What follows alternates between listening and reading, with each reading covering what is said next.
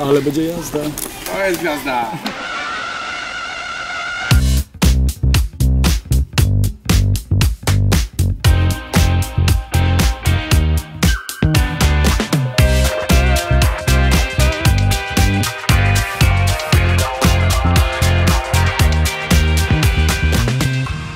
Nie wystarczy pokochać, trzeba jeszcze umieć wziąć tę miłość w ręce i przenieść ją przez całe życie.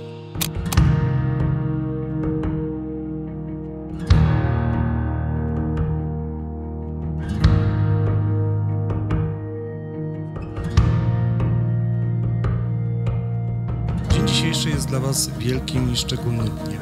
Dniem związania Waszych wspólnych losów na całe życie. Dlatego przyszliście tutaj w towarzystwie bliskich Wam osób, aby publicznie i uroczyście oświadczyć, że odtąd chcecie kroczyć zawsze wspólnie i ofiarujecie sobie swoją największą bogactwo, swoją miłość, swoje życie i na tych podstawach chcecie budować Wasze przyszłe szczęście i jedność małżeńską. Jesteście dziś właśnie w tej szczęśliwej chwili i sytuacji, bo znaleźliście nawzajem kogoś, z kim możecie wspólnie iść razem przez życie.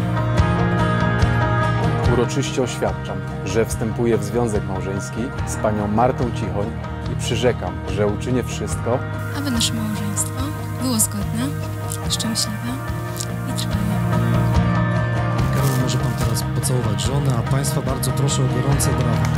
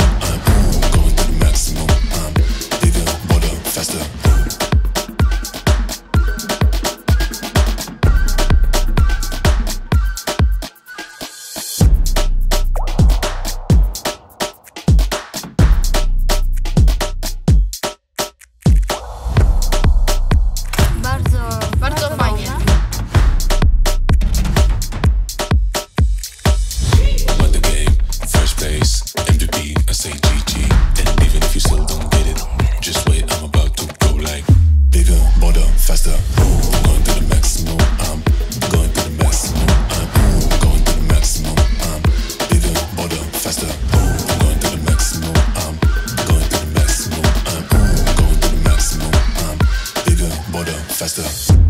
Marta, tą prawą rękę jakbyś mu tak pod pachę wsadziła może. Eee,